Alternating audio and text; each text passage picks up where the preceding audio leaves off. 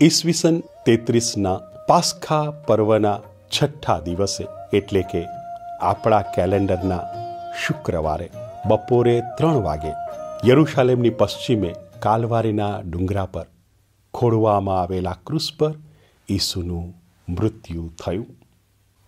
આ ઇતિહાસ સર્જક અવિસ્મરણીય ઘટનાને પુનઃજીવન પુનઃ આચરણ અને પુનઃ સ્મરણમાં ઉતારવા માતા ધર્મસભા પોતાના સંતાનોને બપોરે ત્રણ વાગે એકઠાં કરે છે. જોકે આબોહવા અનુસાર એ ત્રણને બદલે મોડે પણ ભેગા થઈ શકાય. પણ આ જે વિધિઓ હવે કરવામાં આવે છે, એ વિધિઓમાં ત્રણ મુખ્ય ભાગ છે. પહેલા ભાગમાં માતા ધર્મસભા, ભક્તોને શાસ્ત્ર પાઠો દ્વારા પ્રભુ ઈસુના મૃત્યુને સમજાવે છે. એ પછી જુદી જુદી દસ જરૂરિયાતો માટે પ્રાર્થના કરવામાં આવે છે. ત્યાર પછી પવિત્ર કૃષ્ણનું વંદન અને છેલ્લે પ્રભુ ભોજન. હવે આ પર્વમાં છઠ્ઠા દિવસે આપણા યહૂદી ભાઈઓ બહેનો શું કરે છે? બરાબર ત્રણ વાગે. પણ એમની ઘડિયાળ પ્રમાણે એ છઠ્ઠા દિવસનો ચોથો પહોર કહેવાશે. છઠ્ઠા દિવસના ચોથા પોરે એક વર્ષનો નર જાતિનો ખોળખાંપણ વગરનો એ પછી ઘેટો હોય કે પછી બકરો હોય. પણ એનો વધ કરવામાં આવતો અને પછી સૂર્ય ડૂબે એ પહેલાં એને જણાવેલી રીતે તૈયાર કરવામાં આવતો. કેમ સૂર્ય ડૂબે એ પહેલાં? કારણ કે જેવો સૂર્ય ડૂબશે છઠ્ઠા દિવસનો, એટલે કે આપણા કેલેન્ડર મુજબના શુક્રવારનો અને વિશ્રામવાર શરૂ થાય. હવે સામાન્ય રીતે સપ્તાહનો સૌથી પવિત્ર દિવસ એ વિશ્રામવાર. અને બધા વિશ્રામવારોનો સૌથી પવિત્ર વિશ્રામવાર એ પાસ્ખા પર્વમાં આવતો વિશ્રામવાર. એટલે આ વિશ્રામવારને વિશ્રામવારોનો વિશ્રામવાર કહેવામાં આવે છે. એટલે આ વિશ્રામવારોના વિશ્રામવારનો મલાજો રાખવો પડે અને યહૂદી ભક્તો એ મલાજો રાખે છે. સૂર્ય ડૂબે એ પહેલાં બધી તૈયારી પૂર્ણ થાય છે. અને જેવો સૂર્ય ડૂબ્યો કે પાસખાનું ભોજન શરૂ થાય છે. બરાબર એ જ પડે. જ્યારે ખોડ ખાંપણ વગરનો બલિ વધેરાય છે, એ જ સમયે નિર્દોષ, નિષ્પાપ ઈસુ ક્રુસ ઉપર મૃત્યુ પામે છે. આ પાસખાનું ભોજન જેમ આ યહૂદી ભાઈઓ બહેનોને માટે મુક્તિનું ભોજન બને છે. એમ ઈસુ ક્રૂસ ઉપર મૃત્યુ પામતા ઈસુ હવે આ પણ સૌની મુક્તિનું ભોજન બને છે. એટલે જે શુભ સંદેશ વંચાય છે એને મહાવ્યથાની કથા કહેવામાં આવે છે. ક્યાંથી શરૂ થાય છે મહાવ્યથાની કથા? અઠવાડિયાના પાંચમા દિવસની રાતના બીજા પોરથી. એટલે કે આપણી ઘડિયાળમાં ગુરુવારના રાતના નવ વાગે. પ્રસંગ છે ઈસુની ધરપકડ. પણ ઈસુ તો જાતે સ્વેચ્છાએ સૈનિકો અને સિપાહીઓ આગળ પોતાની જાતને ધરી દે છે. એ ધરપકડ નથી. એ મહાવ્યથાની કથા પૂર્ણ થાય છે. શુક્રવારે સૂરજ ડૂબે છે તે પહેલાં ઈસુની દફન વિધિથી. હવે આ મહાવ્યથાની કથામાં જ્યારે આ ધાર્મિક વડાઓ કે જેને વરિષ્ઠ સભા કહેવાય, એ વરિષ્ઠ સભા રાજકીય સત્તા, રોમન ગવર્નર સામે ઈસુને રજૂ કરે છે, તે પહેલાંની જે આખી પ્રક્રિયા છે, એનું પણ વર્ણન કરે છે. વરિષ્ઠ સભા સિત્તેર સભ્યોની બનેલી છે અને આ સિત્તેર સભ્યો એ યહૂદી પુરુષો છે જેમની ઉંમર બાર વર્ષથી વધુ છે આ વરિષ્ઠ સભા એક સત્તા ધરાવે છે. ધાર્મિક ગુનાઓની સુનાવણી કરવી. આરોપ જો ગુનો માલુમ પડે તો સજા કરવી. એટલે જો કોઈ આરોપી રજૂ થાય, તો હવે બે સાક્ષીઓ એ આરોપી વિરુદ્ધ કે આ આરોપીના પક્ષમાં પોતાની રજૂઆતો કરે વરિષ્ઠ સભા સાંભળે અને એ સાંભળ્યા પછી નિર્ણય કરે. જો એ નિર્ણયમાં સિત્તેર સભ્યો પાંત્રીસ પાંત્રીસ એમ સરખા ભાગે વહેંચાઈ જાય, તો આ વરિષ્ઠ સભાના જે પ્રમુખ છે, વડા પુરોહિતનો નિર્ણય એ અંતિમ નિર્ણય. એમનો અંગત અભિપ્રાય અંતિમ નિર્ણય બની શકે. અને ઈસુના જીવનમાં એ પ્રસંગે વડા પુરોહિતનો અંતિમ નિર્ણય એ એમનો અંગત અભિપ્રાય હતો. પણ ઈસવીસન તેત્રીસની વાત જુદી છે. રોમન સામ્રાજ્યએ વરિષ્ઠ સભા પાસેથી આ ગુનેગારોને મૃત્યુદંડ આપવાનો અધિકાર છીનવી લીધો છે. વરિષ્ઠ સભા સુનાવણી કરી શકે, નાની મોટી સજા ફરમાવી શકે પણ મૃત્યુદંડ ન આપી શકે.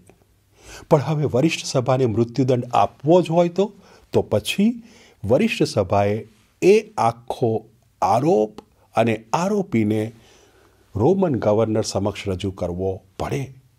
અને એ મહાવ્યથાની કથામાં આગળ અને આગળ ચાલે છે. રોમન ગવર્નર એકલો જ જીવન આપવા કે જીવન દેવાની સત્તા ધરાવે છે? અને રોમન ગવર્નર કહેશે પણ ઈસુને કે મારા હાથમાં સત્તા છે, તને જીવતો રાખવાની કે તને મારી નાખવાની? પણ રોમન ગવર્નર આખરે ઈસુની વિરુદ્ધમાં ચુકાદો આપે છે. અને ત્યાંથી ઈસુની છેલ્લી ઘડીઓ શરૂ થાય છે. ઈસુનું મૃત્યુ થાય છે. એ આકસ્મિક બનેલો બનાવ. જો કે ઈસુએ તો સ્વેચ્છાએ ધરપકડ સ્વીકારી હતી. હવે માતા ધર્મસભા આજે જે પહેલો શાસ્ત્રપાઠ રજૂ કરે છે, એ પહેલા શાસ્ત્રપાઠમાં તો આપણને જણાવવામાં આવે છે કે આ તો પ્રભુની યોજના હતી. પૈગંબર યશાયા ઈસવીસન પૂર્વે પાંચસો પચાસમાં લખે છે, આ પહેલો શાસ્ત્રપાઠ આજનો, જો હાથમાં લઈને ક્રુસ આગળ બેસીને આપણે જો વાંચીએ તો આપણને એમ જ લાગે ક્રૂસ ઉપર લટકતા ઈસુ પર આ તો મનન ચિંતન ચાલી રહ્યું છે. જુઓ ને, શું લખે છે પૈગંબર યશયા? ધરતીમાંથી ફૂટી નીકળેલા, એટલે કે આ કાલવારીની ધરતીમાંથી આ ક્રૂસ ફૂટી નીકળ્યો છે અને એના પર લટકતા આ ઈસુમાં નથી મનમોહક આકર્ષકતા. એમનું રૂપ વિરૂપ થઈ ગયું છે. એમાં નથી આંખ આકર્ષકતી આકર્ષકતા.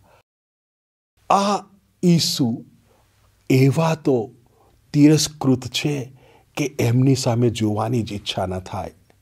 જુઓ ઈસવીસન પૂર્વે પાંચસો પચાસમાં. યશાયા ઈસુ નામ નથી વાપરતા, પણ લખ્યા કરે છે. પછી આગળ લખે છે કે એ વિંધાયા છે? આપણે કારણે. અને એમણે વેઠેલા દુઃખોને કારણે આપણે દોષમુક્ત બન્યા છીએ. હજી યશાયા આગળ લખે છે, આ મારા સેવકને, જેને કારણે અનેકોના દોષ મુક્ત થયા છે, હું વિજયી કરવાનો છું. અને એનો વિજય એ પ્રભુનો પ્રતાપ છે. યશાયા ઈસુનું નામ લેતા જ નથી. પણ આજે જ્યારે આપણે ક્રુસ આગળ એ શાસ્ત્રપાઠનું ચિંતન મનન કરીએ છીએ, ત્યારે લાગે છે આ યશાયાએ આગાહી કરી હતી, એ પ્રભુનો આજ્ઞાધીન સેવક એ ઈસુ જ છે. હવે આ ઈસુ જે અનેકોને દોષમુક્ત કરે છે, એ યશાયાના મત મુજબ આજ્ઞાધીન સેવક છે.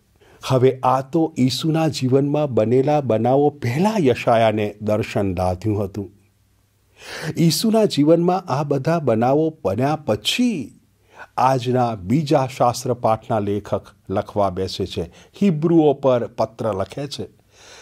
અને એમાં એમને જે આજ્ઞાધીન સેવક હતા એ હવે વડા પુરોહિત લાગે છે. ઈસુ તો વડા પુરોહિત છે.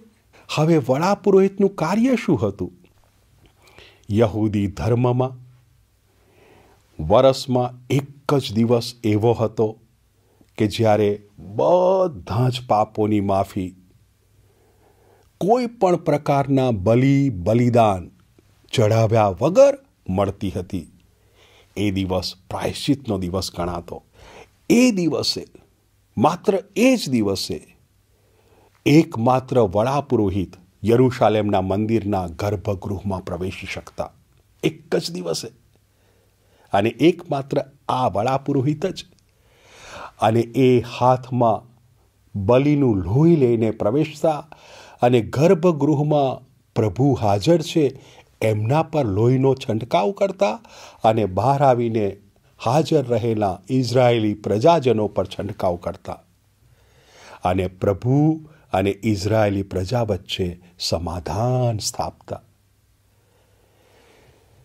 આજના બીજા શાસ્ત્ર પાઠના લેખક કે છે, એ વડા પુરોહિત આ ક્રુસ ઉપર લટકેલા આપણા પ્રભુ ઈસુ છે. એ લોહી અન્ય કોઈ બલીનું નથી, પોતાનું છે. એમણે એ લોહીથી પ્રભુ અને માનવજાત વચ્ચે સમાધાન સાધ્યું છે. આ વડા પુરોહિત આપણા જેવા માનવ બનેલા છે અને આપણા જેવી પ્રત્યેક યાતના, વેદના, મુશ્કેલી અને સમસ્યાનો અનુભવ કરી ચૂકેલા છે. એક બાબતનો એમણે અનુભવ કર્યો નથી, એ પાપ કરવાનો. કેમ? પાપનો પ્રતિકાર કર્યો છે. બતાવી આપ્યું છે કે માનવ જાત પણ ધારે તો પાપનો પ્રતિકાર કરી શકે છે. પાપનો પ્રતિકાર કરવામાં દુઃખ પડે છે, યાતના પડે છે અને એટલે એમણે આર્તનાદથી આ યાતનામાંથી ઉઘારવા પ્રભુને પ્રાર્થના કરી. પણ આજ્ઞા ભંગ કરવાનું પસંદ ના કર્યું. આ ઈસુ આજે ક્રુસ ઉપરથી મને બતાવે છે કે તું પણ આજ્ઞા ભંગ ન કરવાનો નિર્ણય કરી શકે છે. અને એ નિર્ણય પૂરો કરી શકે છે.